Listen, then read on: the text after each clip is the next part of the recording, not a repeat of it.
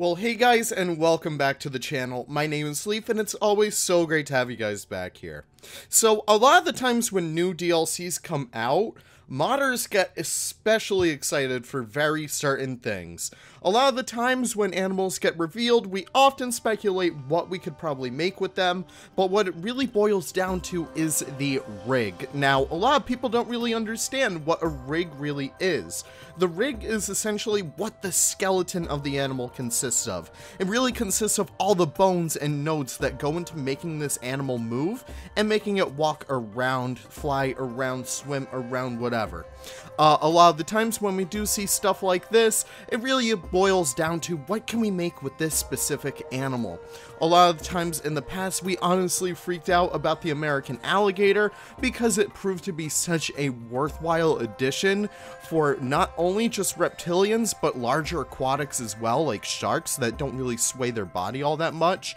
A lot of the times we also freaked out about the proboscis monkey, which was fantastic for tailed primates. And we also freaked out about literally any other thing that got revealed. I recall specifically that people got so excited for the Badger because we really haven't had anything like that as a rig in the game just yet, and it also proved to be so worthwhile for the Honey Badger mod, as well as any other Badger-like animal that came out right after that. So today, now that we honestly know what a rig is, we're just gonna go right in and kind of look into what would be the most useful rigs for modders in future DLCs. Uh, a lot of this is speculation. I don't expect much of this to become true, unfortunately, but we're gonna have high hopes going forward. Number one would be a gibbon rig. Now, the gibbon, if you guys don't already know, is a very uniquely proportioned animal. Instead of walking like, you know, on all fours or something like that. They actually walk with their hands in the sky. You guys can kind of see a picture of that show up right here. Uh, not only that, but they also do brachiate, which we have not seen in the game just yet. So getting a gibbon in any form, whether it be like a buff-cheeked, white-cheeked Siamang or something like that, it'd be a wonderful thing to have just to flesh out the rest of that brachiating roster. And even, you know, a little crazy me would say it might even be good for brachiating orangutans if they don't introduce that anytime soon. I know it sounds a little crazy to put a gibbon on an orangutan, but hey, listen, that's just how I work. Moving on from there, we're going to talk about something that I know a lot of us are very much expecting coming soon. Bird rigs. From literally anything, okay? Tons of birds move so differently from each other that we would honestly require a lot of different rigs, but I could honestly see a good list being eagles or condors, vice versa, being used for, you know, condors or eagles or even vultures. I could definitely see parrots or toucans being used for each other. Even psittaciforms. These are all just wonderful ways that we could use a unique rig for so many different animals. Even smaller songbirds, waterfowl, the list could go on and on for what animals could be extremely useful for helping to flesh out a very bare bones roster in addition to birds, I'm going to something a little bit more practical, a little bit more realistic. I have smaller primates, okay? Rigs for smaller primates. Already, the capuchin is a beautiful rig, but it's only useful for stuff like capuchin monkeys. I know I put out a lot of mods recently that have used the capuchin as a base, be it like the Wolf's Guenon and stuff like that, but I would so much prefer to have unique smaller primate rigs, whether that be for howler monkeys, tamarins, guenons, all of them move extremely uniquely and have very unique sounds. I'm getting sick and tired of the capuchin sounds, I'm not gonna lie.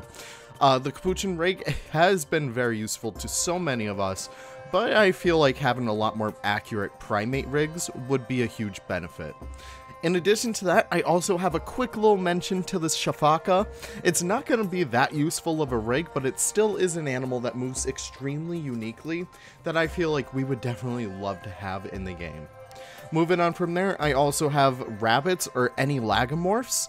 Lagomorphs are easily some of the most unique animals that you could probably get, and they're not really achievable with the tools that we currently have in-game.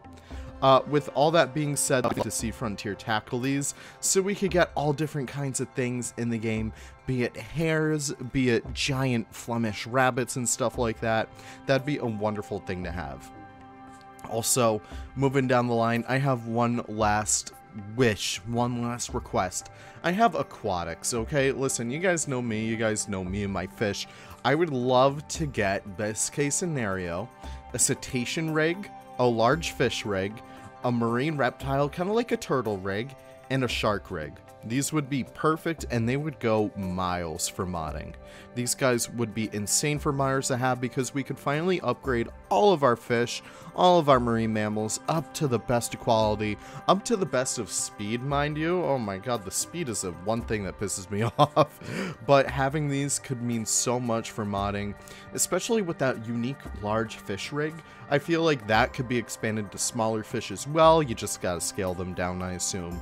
But all that being said, that is all my wish list for unique rigs for modding and what would be the most useful ones. I have to give a quick shout out to Za from the modding server for this wonderful little request for a little deep dive into this very, very touchy subject for some people. Uh, anyways, I'm more than happy to await and see what Frontier has up their sleeve. I know that a lot of the times they do reuse their own rigs, be it like, you know, the Dall Sheep, and reusing it and slightly modifying it for like the Ibex and stuff like that.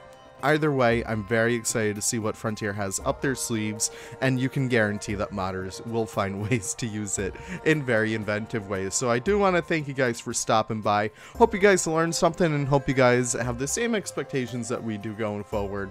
And all that being said, I just want to thank you guys for stopping by, and I'll see you guys all in the next video. Take care, and have the most wonderful of wonderful days. Bye-bye now.